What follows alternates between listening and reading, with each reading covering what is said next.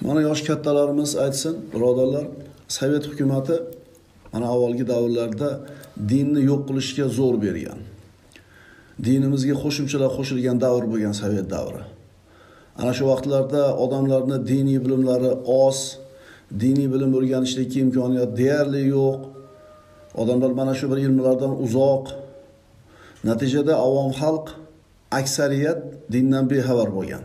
Ha albatta ular kalima keltirgan musulmon edi ammo ilmsiz edilar u zamonlarda islomni yomon ko'rsatish uchun bidatlarga katta yo'l ochilgan edi. Masalan yaqinidan ayrilgan oila uchun shu musibat yetmay turgandek ma'rakalar uchi yettisi yigirmasi qirqi yili va hokazolar qilish majburiy edi. Qirq kungacha eshik ochiq turishi kerak qirq kungacha ana shu mayitni egalari eshik tagida o'tirishi kerak soch soqolini olmaslik kerak. Id bayram kunlari azaxonlik xursandchilik o'rniga hamma qabristonga borgan yig'i motam. Otasi o'lgan oila bo'lsa sag'ir bolalari bor bo'lsa ham albatta falon hayvonni so'yish kerak ehson qilish kerak. Mana shu ishlar din deb ko'rsatilgan. Ya'ni bu ishlarga e, dinga bir narsani qo'shish deyiladi.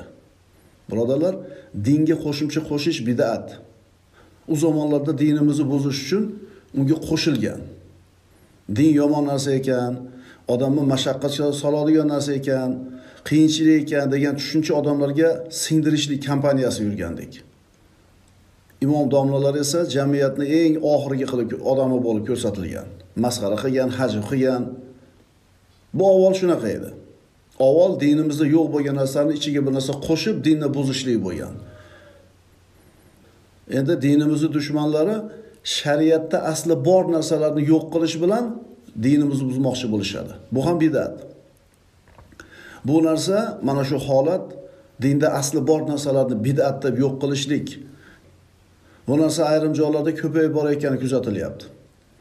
Masjidlarimizda ota bobolarimiz qadim qadim zamondan beri qilib kelayotgan ayrim amallarni kimlardir bu bidat deb qo'ysa odamlarni ilmsizlari ana shu odamlarni gapiga ishonib o'sha amalni tark qilyapti.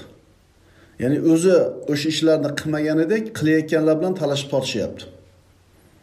Kelinglar birodarlar bugun sizlar bilan mana shu masalani e, birga ko'rib chiqamiz. Bidat nima? Bidat bugun yo kecha paydo bo'lgan so'zmi? Bidat birodarlar nimaligini ulamolar u qadim qadimdan e, dona dona qilib bayon qilib qo'yishgan. Bidat haqidagi ilm musulmonlarni qo'lida turibdi. Avvalgi davrda dinni buzish uchun unda yo'q bo'lgan narsalarni ichiga qo'shishlik bo'lgan bo'lsa hozir aytganimizdek bizni davrimizga kelib asli shariatda bor bo'lgan narsalarni bid'at degan so'z bilan yo'q qilinmoqchi. Bu ikkala yo'l ham noto'g'ri.